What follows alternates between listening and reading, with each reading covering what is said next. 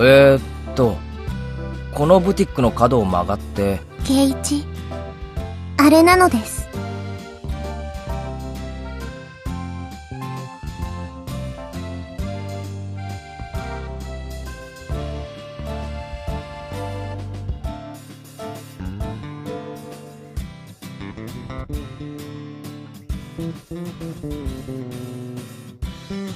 それにしても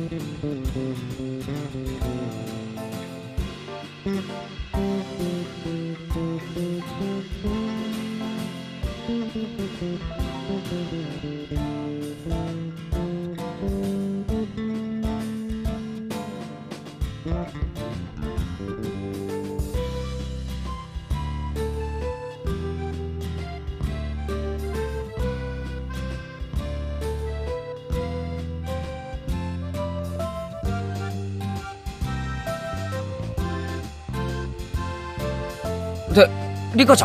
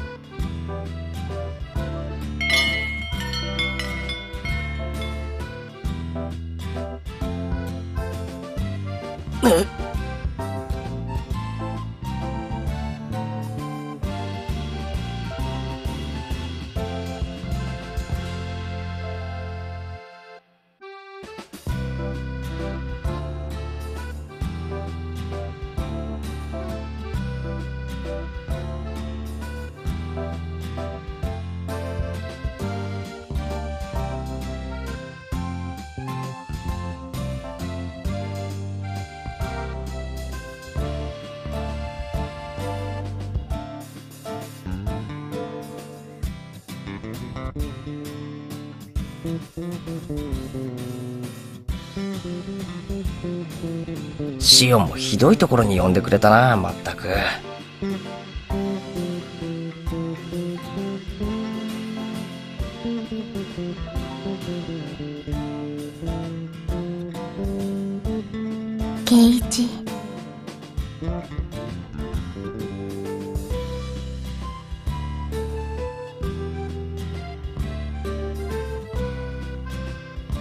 本当に圭一に任せて大丈夫なのですか？ああもちろん。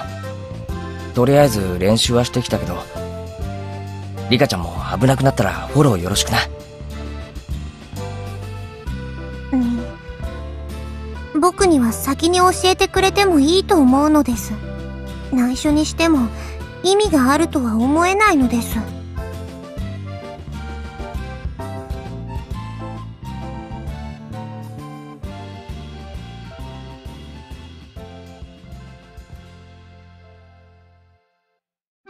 正直俺はまだリカちゃんの言う運命ってやつを信じてない。みだから見ててくれないかリカちゃんが思うよりも。運命は簡単に変えられるものだって証明してみせるからさ。圭一は僕の言うことをまだ疑っているのですか？いや違うな。信じてるからこそ変えられるってことを証明したい別に我慢して受け入れなくても選択肢は山ほどあるってことをな。わかりましたのです。それにシオンだって聡子のことが関係してると分かれば真剣に話を聞いてくれるはずだぜ。そのことをちゃんと教えておいた方がいいかもな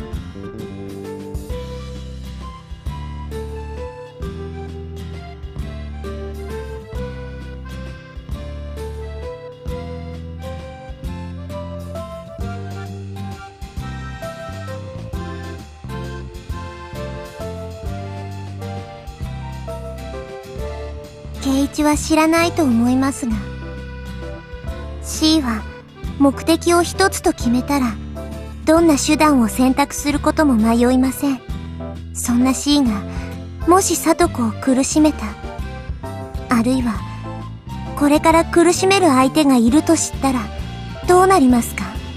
きっと間接的なやり方より直接的な手段を選ぶでしょう。もっと確実で一見効率的だと思える。一つの選択で。直接的。それって。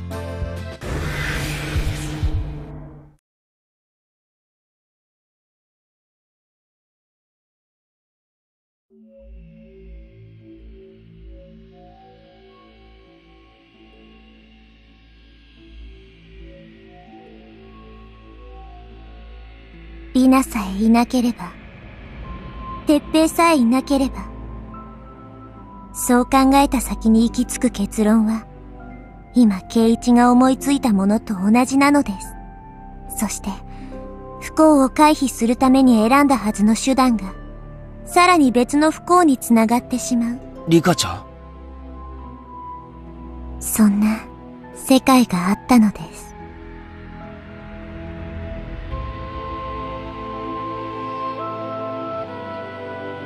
じゃあ、里子のことは黙ってるのか？教えてもいいのですが、C の間違った優しさに火をつけかねない。それだけは、どんなことがあっても絶対にダメなのです。リカちゃん。C に暴走をさせないことも、今日の話では大事なことなのですよ。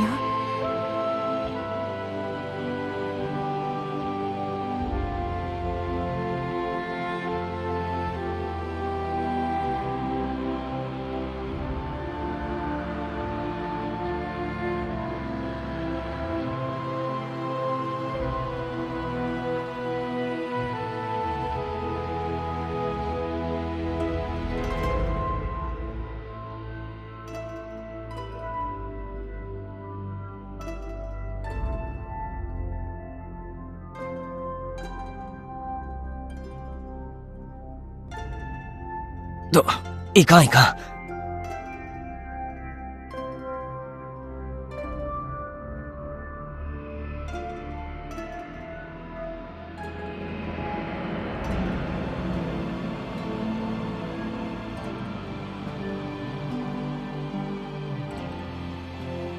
そうだな。とりあえず、俺に任せてくれ。み、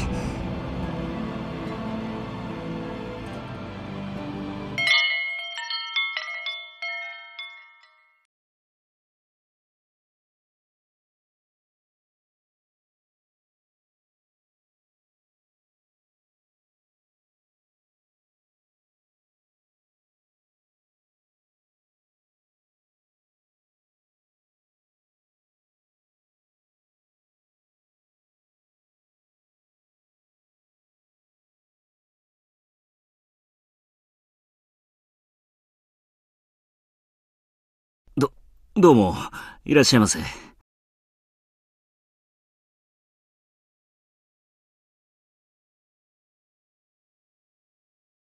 マスター。あ、はい。何でしょうか？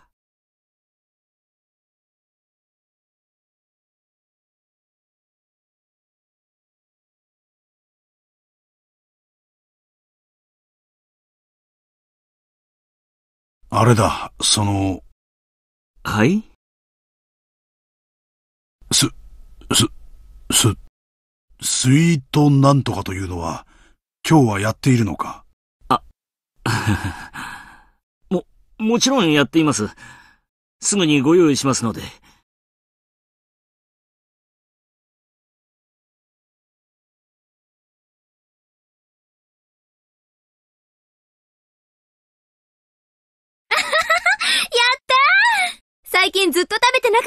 よね。スイートストロベリーコンポートパフェ。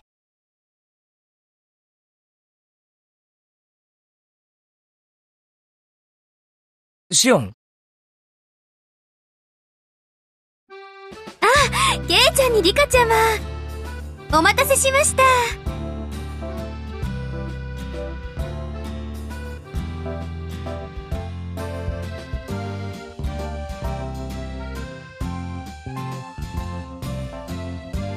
こんにちはナモです。僕たちも今来たところなのですよ。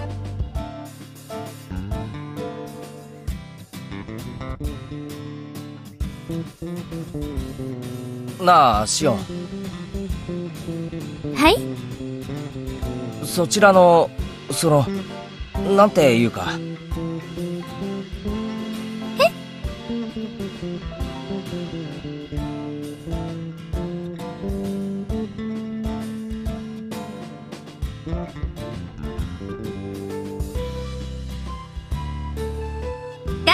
ことですよね。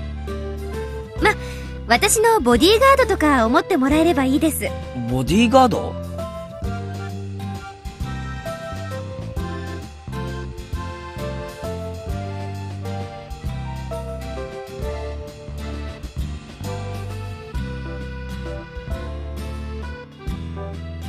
葛西と申します。シオンさんがいつもお世話になっているそうで。私がお世話してあげてるんですよ。そうですよね、ケイちゃん。どうも、はじめまして。圭一です。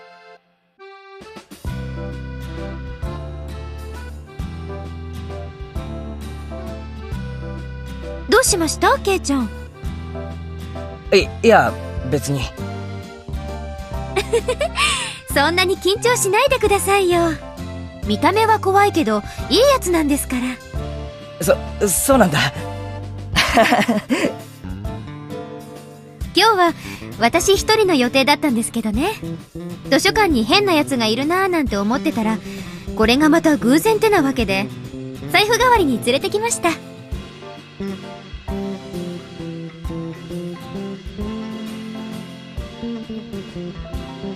なかなかいい男だと思いませんか？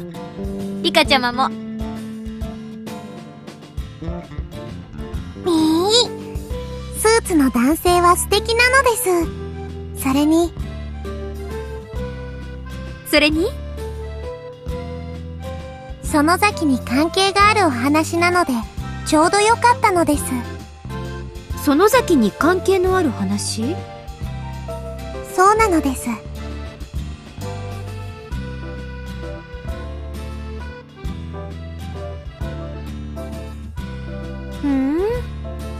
電話ではちょっと聞きましたけどどんな話でしょうね。まあとりあえずスイーツでも楽しみましょう。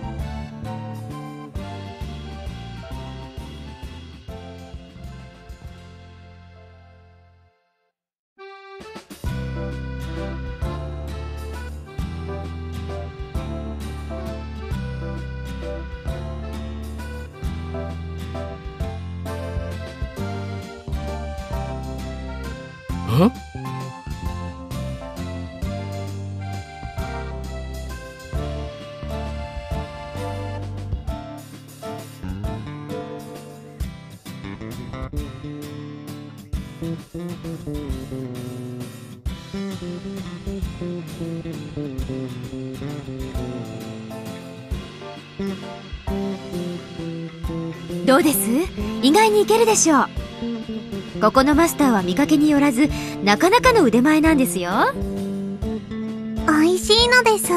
みぱー。ほら葛西も一度くらい食べてみなさいよこういう機会でもなければスイーツなんて食べること一生に何度あるか分かりませんよ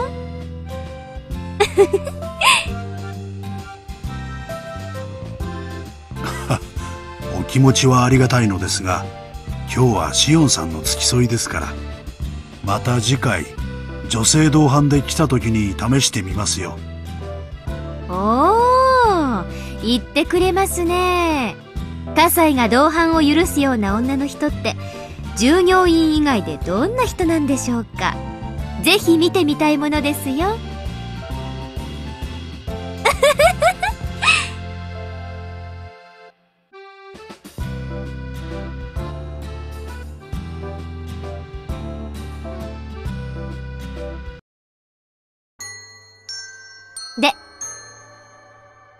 今日はどんなお話なんですか？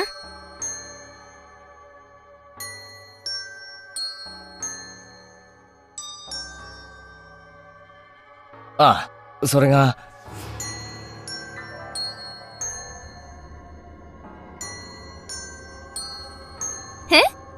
何ですか？いきなり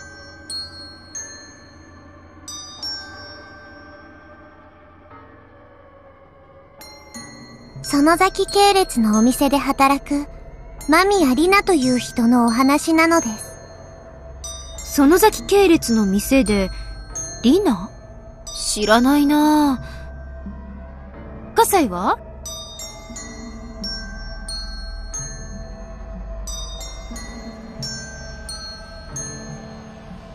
おそらく知っている人物かと。間宮里奈が何か。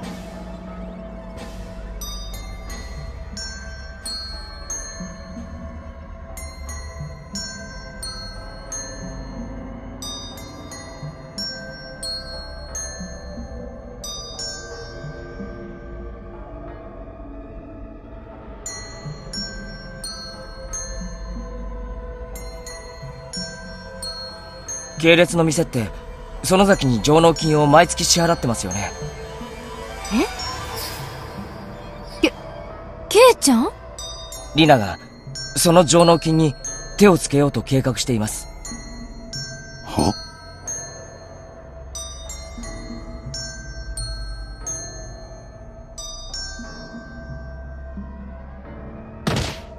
ちょっと待ってください。なんでそんな話ケイちゃんとリカちゃまから。そそれは。それに上納金に手をつけるって穏やかじゃないですよ。だいたいそのリナって女は何者ですか？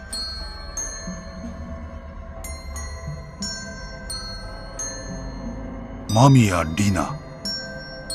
店で名乗っている名前ですが、本名かどうかは、フラワーロードの店の一つで働いてる従業員です。従業員？ああ。でもますますわかんないですよ。どうしてうちの従業員のことをケイちゃんたちが知ってるんです？あいやだから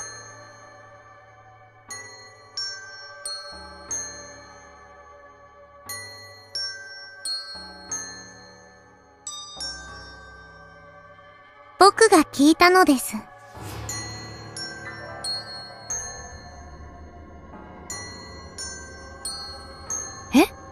リカちゃまが？どこで？図書館なのです。なんだか変な人たちとワイワイ楽しそうに話していたのですよ。図書館？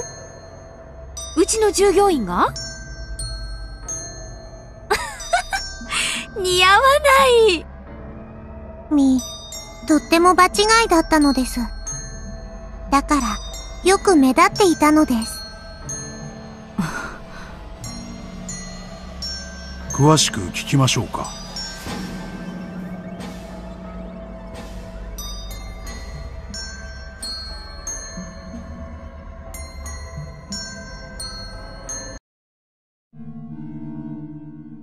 なるほど。確かに気になる話ではあります。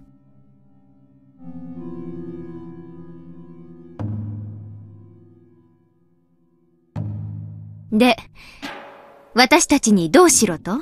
そのリナって女が園崎の上納金を狙えないようにしてくれ。リナが働いているのは園崎系列の店だから園崎の力をもってすればリナの動きを封じるくらい簡単だろまあ、そりゃあ、もしそれが無理でも園崎家のシオンには一度話しておいた方がいいかなって無関係とは言い難いしさ。それを言うなら、なんでお姉に言わないんです？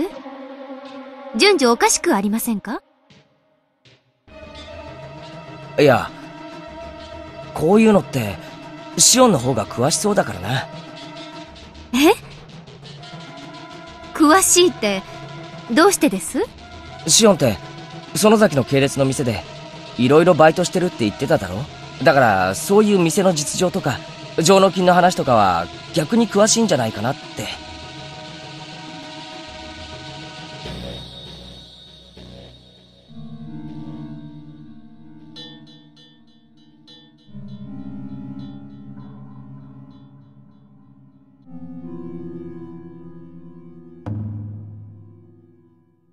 それにシオンならもしかしたらその店で働いてるかもしれないし。その店って、フラワーロードの？私が？って、働いてるわけないでしょ？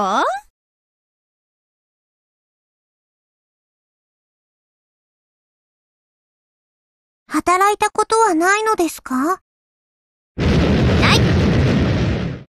ケイちゃん、リカちゃま、喧嘩売ってますか？そんなお店で未成年の私が働いたら、一発レッドカードですよ。まったく。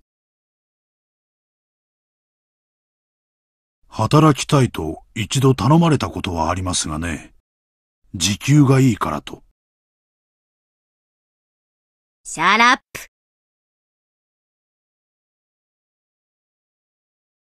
で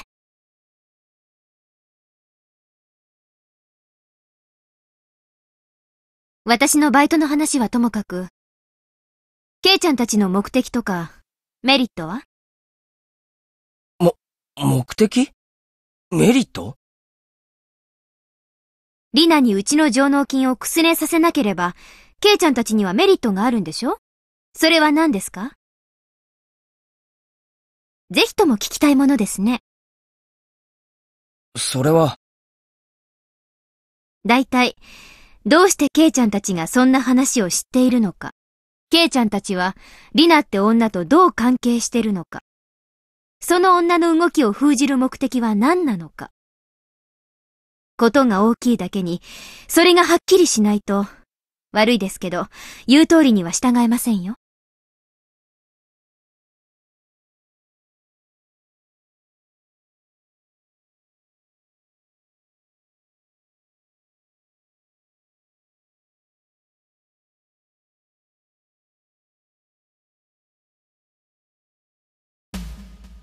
最近、そのリナって女性の身辺に、おかしなところはありませんか？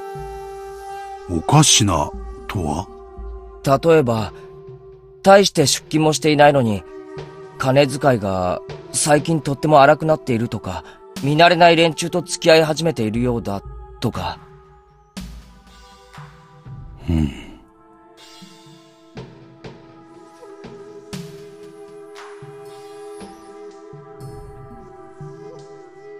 そういう話ならば、ふーん。葛西、心当たりでもあるんですか？はい。リナは最近、金の貸し借りで同僚とトラブルがあったとかで、店にはあまり顔を出さなくなりました。同僚だけではなく、あちこちで相当借金を作っていたようで、リナの名前を聞いていい顔をする人間はほとんどいません。うーん。でもそれだけじゃ、ええ、まあ。ですが、クラブの若い衆の何人かと妙につるんだりして、金もないだろうに変だと思っていたところなんです。借金があるのに羽振りがいい。ってわけね。あともう一つ。図書館で見かけたという話ですが、実は私も聞いておりました。意外だとは思ってましたが、そう聞けば、そうか。なるほど。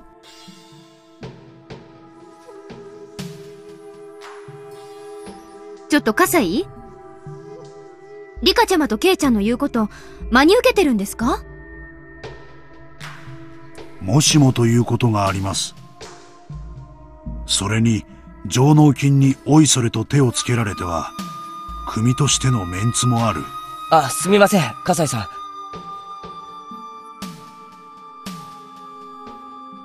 ん。できれば、その、リナには、何もしないでもらいたいんです。何も？それはどういう意味ですか？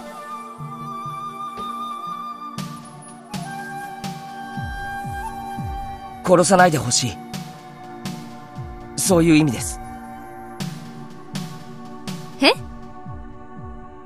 あ、あのね、ケイちゃん。言ってる意味、全然わかんなくなってきてるんですけど。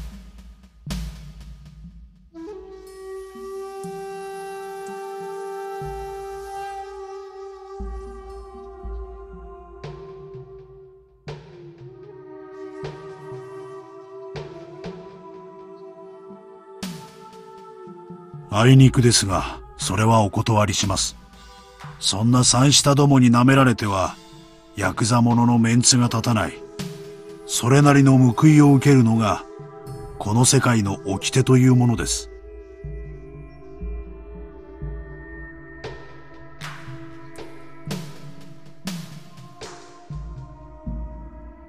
それは分かっています。でも、お願いします。奴らを許すとかじゃなく、このこと自体をなかったことにしてほしいんです。なかったこと？それは無理というものです。そもそも。つまり、リナたちが盗みの実行を最初から諦めれば、金も取られず、メンツも失われない。そうですよね。まあ、それは。で？話の腰を折って申し訳ありませんが、そこで私たちの当然の疑問ってわけです。どうしてケイちゃんたちは、そのリナなんて悪徳人を助けてやろうって考えたんですか？リカちゃんに相談を受けてさ、なんとか穏便にことを済ませる方法がないかなって。そうなのです。あまり大ごとにするのは良くないと思ったのですよ。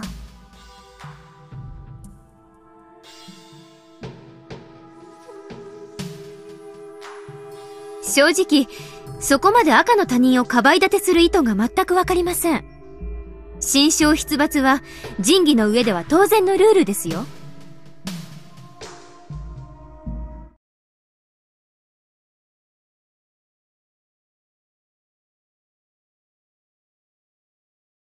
そのリナってのは、里子にひどいことをしていたおうち、鉄平と深い関係にある。はい？それ、どういうことです？えっと、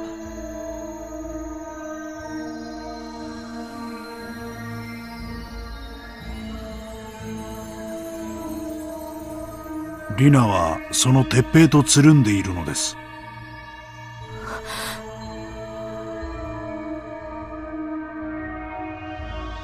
北条鉄平が札付きのゴロ付きなのはご存知だと思います。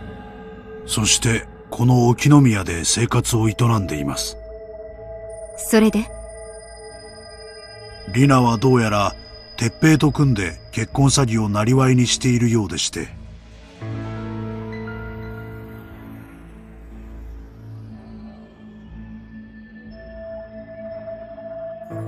近頃ではリナと組んでの詐欺行為が北条鉄平の唯一の収入源のようですね。要は北条鉄平がリナに生活を依存してるってことか。もし、そのリナが金を持ってとんずらしたらどうなる？ん？リナが上納金を持って沖宮の町からとんずらしたら、いや、落とし前つけられて消されても、収入源を失った鉄平は即路頭に迷う。家賃だってすぐに払えなくなるし、生活にも困る。まあ、そうでしょうね。けど。そうしたら、北条哲平は、ひなみ沢の家に戻るしかない。そうなったら里子は、その哲平に連れ戻される。その結果、どういうことが想像できる？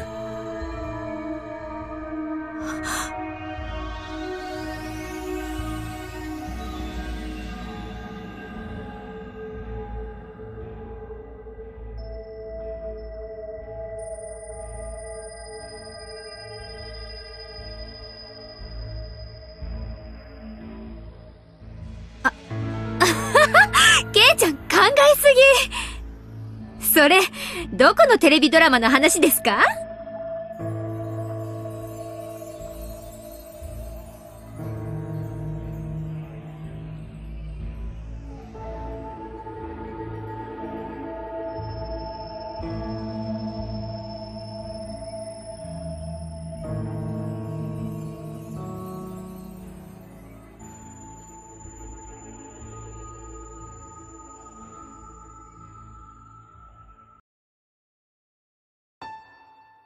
シオン。それはやめてくれ。え？どうしようもないクズだ。殺されても喜ぶ奴はいても悲しむ奴はいないだろう。でも、俺たちがそんな最低野郎と関わる必要はない。そんな奴のために、お前のその手を、里子や、お前のためにも汚してもらいたくないんだ。変な言いがかりですね。私がどうしてそんな風に考えたと？俺も考えたからさ。ついさっきな。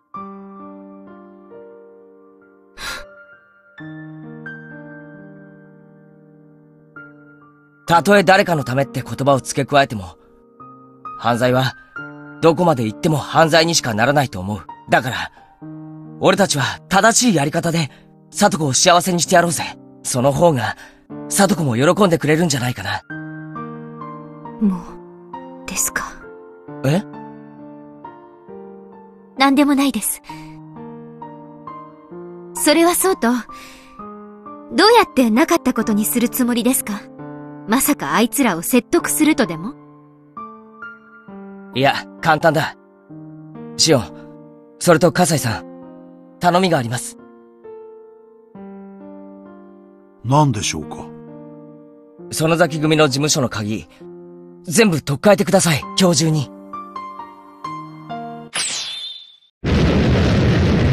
はあ？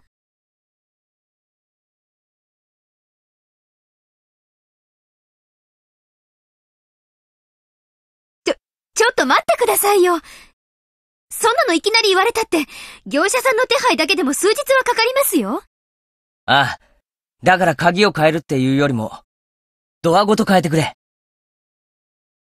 例えば、隣のホームが似た部屋とか、ドアの付け替えなら、日曜大工の延長で可能だろ？いやー、まあ、そりゃ数十分もあれば。理由は、例えば、立て付けが悪いから隣と入れ替えて様子を見るってことで。あ、これはもちろん、リナたちには秘密だぜ。ですが、失礼ですが前原さん。連中はおそらくキーチェーンごと盗み出した可能性があります。一つがダメだったら他の鍵を試してみるのでは？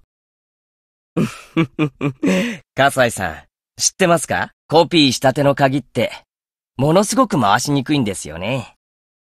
まあ、確かに。つまりこうです。連中は鍵が合わなければ、ひたすら焦る。そして、間違いじゃないかと思って、他の鍵を試してみても、コピーした鍵は引っかかりやすいし、極度の緊張状態だから、手が震えて、違うと勝手に思い込む。そして試行錯誤してるうちに、勝手に解釈する。この鍵全部が、違うところの鍵なんじゃないかって。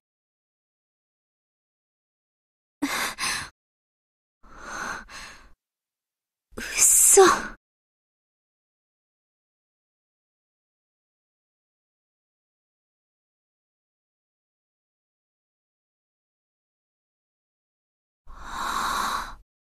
そして連中は、責任の押し付け合いを始める。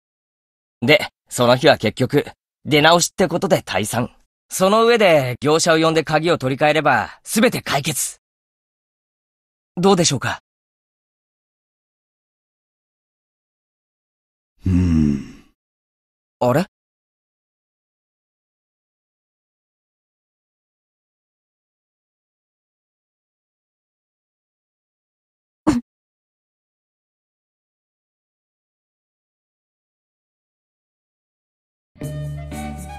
そ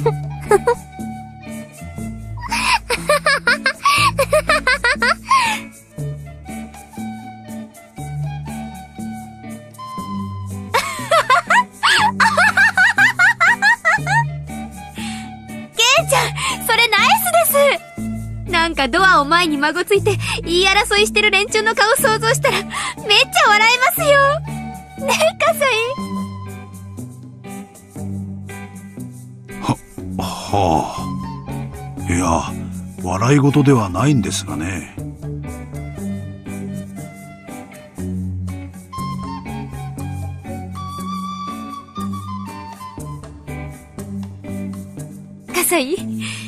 ここは言う通りにしてみましょうえ？いや、しかし。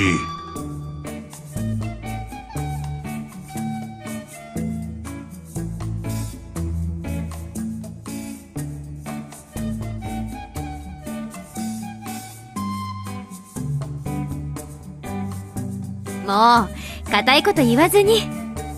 なんだか面白そうじゃないですか。責任は私が持ちますから。責任と言われてもシオンさんにどんなはあわかりました。シオンさんがそう言うのでしたら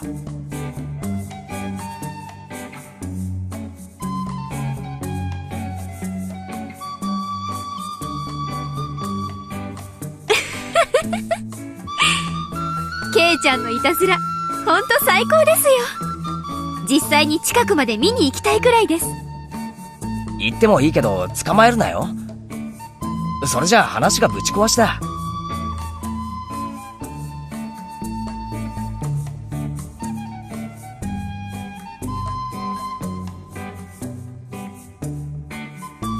ありがとうございます。よろしくお願いしますのです。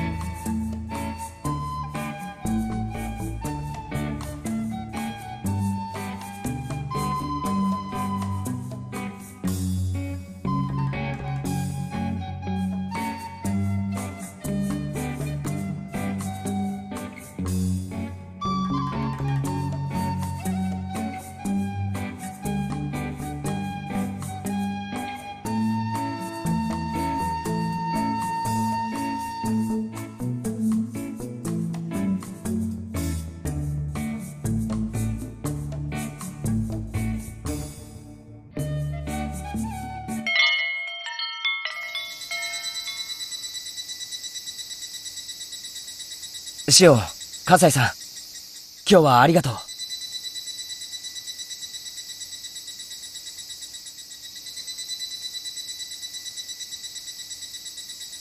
うもしものことがあればこちらにも不利益が出る話ですのでいい。ありがとうなのです。二人とも。それじゃあ俺たちはこれでちゃん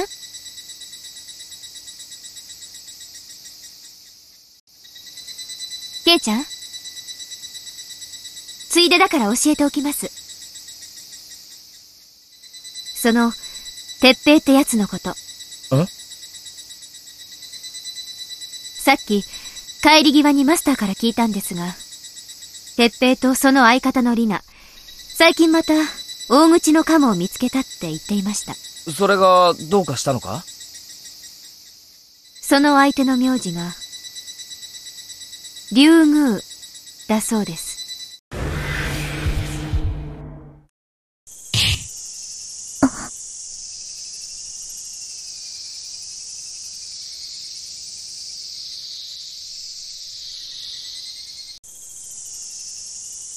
ここであれが来るなんて。神様って、やっぱり、性悪なのかしら。